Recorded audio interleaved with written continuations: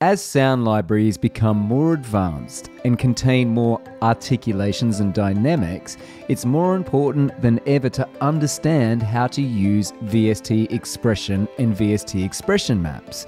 Now, a lot of people may have heard of VST expression, but not quite got their head around what it actually is. In this video, we are going to expel any fear whatsoever you may have of working with VST Expression, and I'm going to show you how to set up VST Expression maps for patches that come with VST Expression inside of software instruments.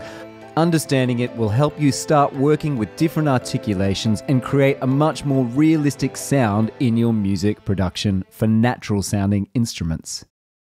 For the lead melody in this track, I'm using HALion Symphonic Orchestra and the Violin Solo Combi patch.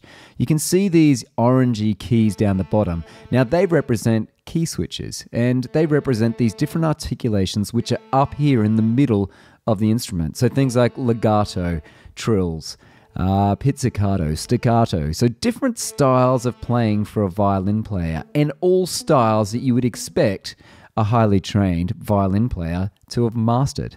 So rather than jumping from patch to patch and accessing all of these different types of expressions and articulations, they're all included in the one patch so you can quickly jump backwards and forwards for a more realistic and natural sound.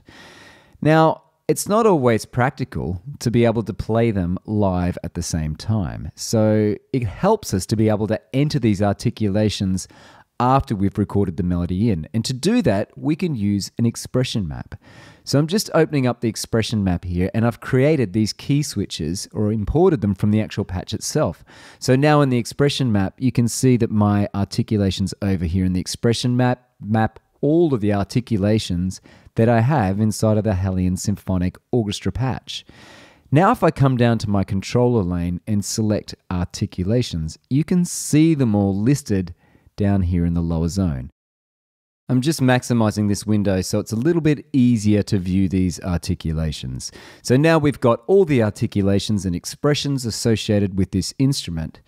And it's just a matter now of using your pen to draw in different articulations. So my first expression or articulation is legato, which is giving me a very smooth melody line.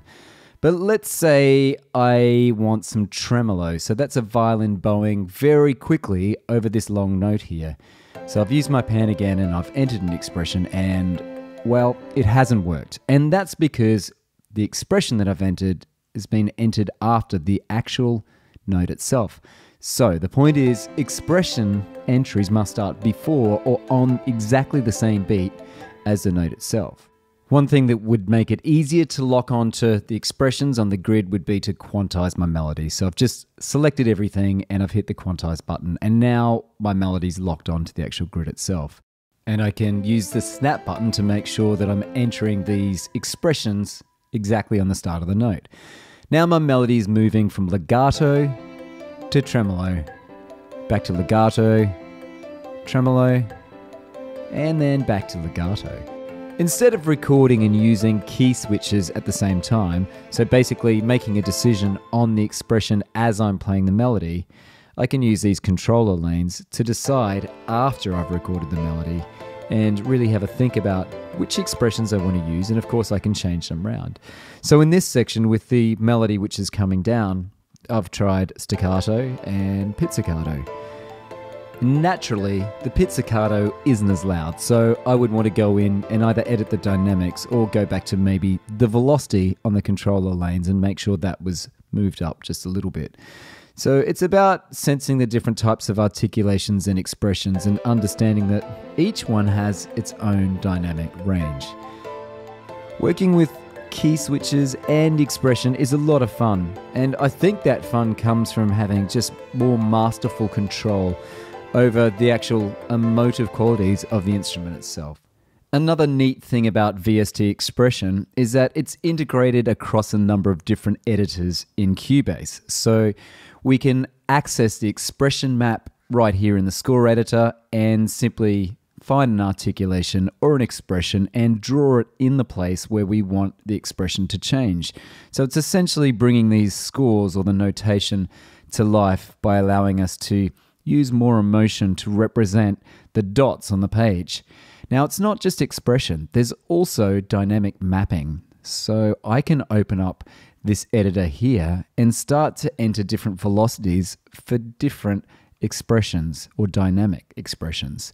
So once I'm happy with the different types of dynamics, basically I pull a symbol out and I can enter it anywhere out here on the score window. And Cubase is now going to follow that directive. So the moment I'm saying uh, pianissimo and I'm putting a crescendo in and now we're going to get really, really loud. Let's say, for example, I want to have the start of this piece very quiet. So I'm putting in very, very pianissimo or quiet. Now, it's too quiet for me to hear, so I could go back to the dynamics mapping setup and change the velocity of this particular dynamic, or I can simply grab another dynamic and enter it in. So now you can see Cubase has adjusted the velocity so it's playing a lot louder. So now it's a matter of going through and finding the dynamics that I want. For demonstration purposes, I'm just grabbing them at will and putting them in here so you can hear that they're getting louder and softer based on the dynamic markings that I've specified. Now, we've already seen VST expression correlate to both the score editor and the MIDI editor, and it's the same for dynamics. So now that I've entered those dynamics on the score, you can see them represented down the bottom in their very own controller lane. And I just use this pop up menu to change in between the different dynamics. So it's really easy to start working with VST expression maps and also dynamics. Another thing you can do is set up your own expression maps. So I've gone to a piano sound here and I'm just going to click over on the event so that I can see the expression maps. And now I'm going to set up my very own. In the expression map setup, I'm going over to the left hand side and clicking this plus sign. Now let's call it test and down the bottom set up a remote key. So I'm setting a remote key for something below where I think I'm going to be playing. Now, the remote key is that key switch. So it's that orange yellowy uh, type of key that we saw earlier on in HALion Symphonic Orchestra. You can also set the remote range here. So I'm going to set this as a minus one. And now let's go down to maybe dynamics and let's select Sforzando. So that's that SFZ, which is a very strong and sudden accent. So now we need to set up a velocity that's going to represent the type of dynamic that we've chosen. So I'm just going to enter 127 as a minimum and the velocity as 127. Now all I need to do is go to the expression map and select test. And if I play the note, you'll notice that it's accented. So I've created my very first VST expression um, or articulation. And now, if I want, I can continue the process and create more, which will give me greater dynamics or greater expression over the instrument that I'm working with. Now, I've been using HALion Symphonic Orchestra uh, to demonstrate VST expression, but if you've got HALion Sonic SE3, which comes as part of Cubase, try typing VX into the search area. Now, all of these VX sounds have got key switches and articulations, and they're quite realistic patches. So, it's a great way for you to be able to get your head around VST expression, start working with it, and of course, experiment with these patches which have a number of different articulations. So, you can see here I've got the nylon string guitar VX loaded in, and you can see all of the expressions that I have, which are included as part of this patch. Thanks for taking the time to stop by and check the video out. Please give us a thumbs up if you've learned something about VST expression, and of course, subscribe to the Cubase channel for plenty more videos just like this. I'll catch you there.